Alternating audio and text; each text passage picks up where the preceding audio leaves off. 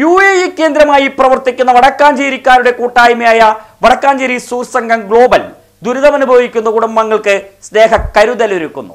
സംഘടനയുടെ ജീവകാരുണ്യ പ്രവർത്തനങ്ങളുടെ ഭാഗമായി സാന്ത്വനം പദ്ധതിയുടെ രണ്ടാം ഘട്ടത്തിൽ ഉൾപ്പെടുത്തി വടക്കാഞ്ചേരി മേഖലയിലെ ഏഴ് പഞ്ചായത്തുകളിലും നഗരസഭയിലുമായി അറുപത്തിരണ്ട് പേർക്ക് ഡയാലിസിസ് ചികിത്സാ സഹായം വിതരണം ചെയ്യും. വെള്ളിയാഴ്ച രാവിലെ പത്ത് മുപ്പതിന് വടക്കാഞ്ചേരി ജയശ്രീ ഹാളിൽ നടക്കുന്ന സാന്ത്വനം എം എൽ എ സേവർജിറ്റ്ലപ്പള്ളി ഉദ്ഘാടനം ചെയ്യും. ഗ്ലോബൽ ചെയർമാൻ ശ്രീകുമാർ കോഴിക്കര അധ്യക്ഷനാകുമെന്ന ഭാരവാഹികൾ വാർത്താസമ്മേളനത്തിൽ അറിയിച്ചു. മെമ്പർമാരുടെ മക്കളിൽ S S L C plus two പരീക്ഷകളിൽ ഉന്നത വിജയം നേടിയവരെ അനുമോദിക്കും.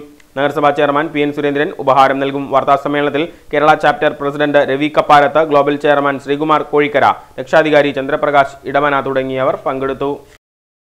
മെമ്പർമാരുടെ കുട്ടികളെ എസ് എൽ സിയും പ്ലസ് ടു കഴിഞ്ഞ കുട്ടികളെ ആദരിക്കാൻ തീരുമാനിച്ചിട്ടുണ്ട്. അതുപോലെ തന്നെ പഴയ പ്രസിഡന്റുമാരെ കുറേ ആളുകൾ. എല്ലാ കൊല്ലവും നമ്മൾ ജനാധിപത്യത്തിൽ തിരഞ്ഞെടുക്കപ്പെട്ട പ്രസിഡന്റുമാരാണ് സംഘടനയുടെ സാരഥികളായി കഴിഞ്ഞ മുപ്പത്തഞ്ച് വർഷമായി തിരഞ്ഞെടുക്കാറ്.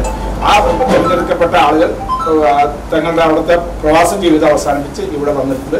അവരെയൊക്കെ സമാഹരിച്ചുകൊണ്ട് ഈ സംഘടനയെ ഒന്നുകൂടി അവിടെയും ഇവിടെയും ശക്തിപ്പെടുത്തുക എന്നുള്ള രീതിയിൽ മുന്നോട്ട് പോവുകയാണ്.